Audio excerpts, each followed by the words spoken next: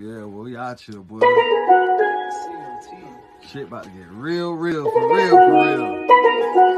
DA got that dope.